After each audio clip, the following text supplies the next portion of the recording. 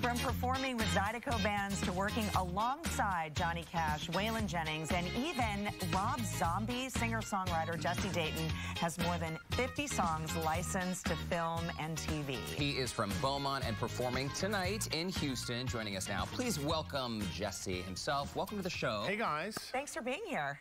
I, I've said it earlier, but I love your old school Astros gear. Oh, the vintage is the way to go. Yeah. You actually, you were just saying, you had the original sweater. I did. I had original sweater, hat, the whole thing. I went to opening day when I was a kid, and the, you know I love the Astros. So we're gonna try to beat the Indians today. Oh, it's going to happen. Yeah. It's happening. You have such a great story because your love of music started at a young age. When you were Yeah. playing guitar with these Zydeco bands, Yeah. you were you were underage, so like sneaking into these Sneaking Yeah. clubs, in. right? Yeah, yeah, totally. And I mean, we actually did play like two different clubs that had the chicken wire fence in front of it. No. Yeah, yeah, that was still happening up until like I think 90 or Oh, my something like that, the late 80s or whatever. And I was like a, uh, I was a little young kid, and um, but there was this really famous um, producer, record producer from Houston named Huey P. Meaux, and he produced. Uh, Wasted Days and Wasted Nights, you know that? And he did uh,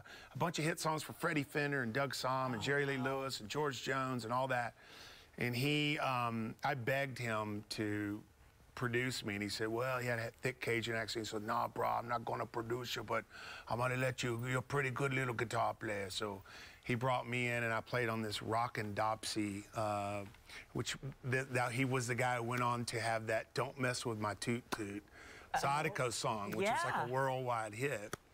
Um, and that was kind of how I, you know, got playing guitar and the studio and got out of the clubs and You know, your your whole background in music is is such a kind of a braided twist between punk, country, Yeah, a little bit of weird. rock. I mean, uh, from Rob Zombie to I mean, you even toured or, um, with Social Distortion. Am Yeah. I right or wrong on that? yeah, with Social Distortion and X and um, Oh my gosh. and uh, yeah, it's just been a weird thing. But I think because when I grew up in Beaumont, you know, it was kind of a night. All the cool stuff never really hit Beaumont. Right. you know but there was cool stuff there like colloquial stuff like zydeco and blues and, and rhythm and blues and honky tonk music you know classic old country um, which we all kind of took for granted but when i moved out and became a, a, you know a guy who traveled the world i realized that all these kids who grew up on classic rock in des moines or wherever they're from they didn't Right. have that kind of music that I had. Um, but I think just being thrown into the fire, you know. Um, and plus, I just like all kinds of music. And I think if you're a really good musician, you want to try to play it all. Play it don't all, you? yeah. That's super cool. Why choose when you can do it all? Let's talk a little bit about your show tonight because last time, by the way, Jesse was here, the show completely sold out. So you're playing Yeah. two performances. Yeah, we're gonna we're gonna do the first one at seven. It's gonna be an acoustic uh, show, different songs, uh, and then we're doing uh, the second one will be electric. So the first one will be more kind of like storyteller, Okay. uh, songwriter, uh, a little bit more laid back, which is a really good show because it gives me time to tell stories and set songs up. And the electric one will shred your face off, and you will Love rock. it. You will rock out. Love it. I love it. So you're seeing all phases of you, which I, I think is very cool. It's cool, yeah. I'm my, I'm basically my own opening act. I love it. It's super cool. So if we want to get our faces shredded off tonight, again, those performances are happening at 7 and 9.30, right? Seven and nine thirty, Mucky Duck. Okay, and jessedayton.com, uh, that's the website to visit if you want to keep up with Jesse on social media. But you're about to sing a song for us, right? I think so. All right, we're going to take care of that. We'll put the information there on the screen to let you kind of do your walk. Awesome. Head on over there. Yeah. Yeah, perfect. Thanks, guys. Thanks, Jesse. And this song is called Mrs. Victoria, Yeah, right? Miss Victoria. It's a song. Victoria. It's a song about a woman, African American woman, who helped raise me and live with my family. And uh, she was like my best buddy, and she turned me on to the blues when I was a little kid, and taught me how to cook and and uh, you know dip snuff and all kinds of crazy stuff. So. here we go.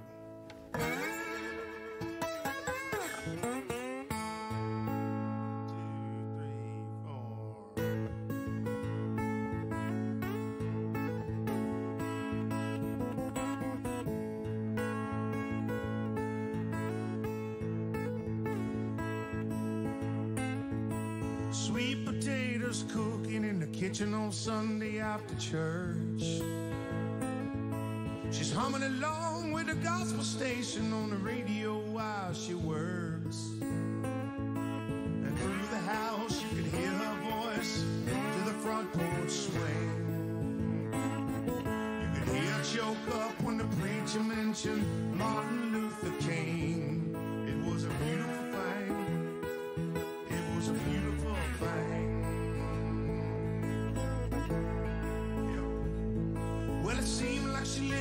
most of the time, but she kept her place across town. Daddy pick her up in his big black Lincoln, all the neighbors they come out.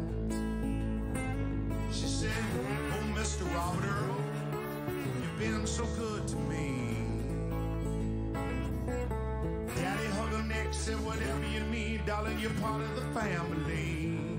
It was a beautiful thing. It was a beautiful thing. Yeah, we go.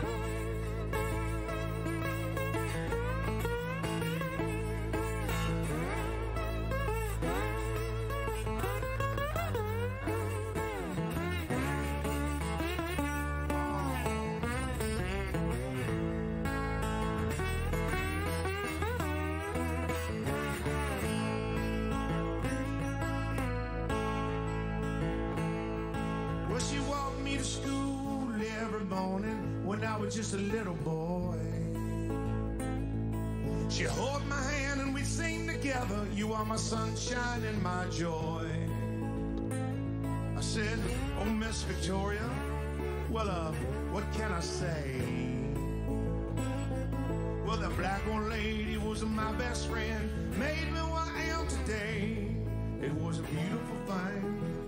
Jesse Dayton, everyone.